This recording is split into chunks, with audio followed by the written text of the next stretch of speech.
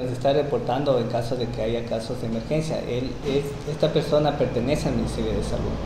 Eh, si bien es cierto, eh, el subcentro de salud ya está muy averiado, no tenemos subcentro de salud.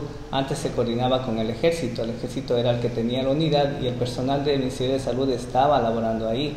Pero eh, por situaciones de la institución mismo del ejército se vieron obligados a cerrar. Ya se hizo un acercamiento con los señores eh, militares y manifestaban que ellos iban a aperturar nuevamente la unidad. Entonces ahí nosotros entraríamos con todo nuestro contingente, personal, médico, enfermero, odontólogo, como se ha estado cumpliendo anteriormente. Si no se reactiva el batallón, ¿qué pasaría? Deberíamos buscar alternativas. No es que se, se cierra, la, o sea, se cierra nuestra voluntad de ir con el personal. Tenemos que buscar alternativas para estar cubriendo esas comunidades. ¿Y en los otros ríos, las cuencas de los otros ríos, tanto Conamo, Pinduyaco, Corrientes? Ya, en estas unidades igual hemos estado ejecutando con brigadas médicas. ¿no? Las brigadas médicas han estado siendo constantes. Eh, como se ha estado trabajando anteriormente. Eh, se piensa instalar eh, un equipo de salud en Guiririma.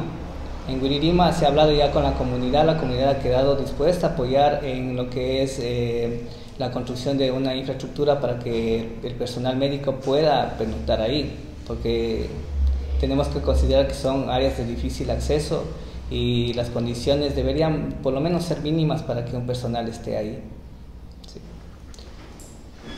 Gracias.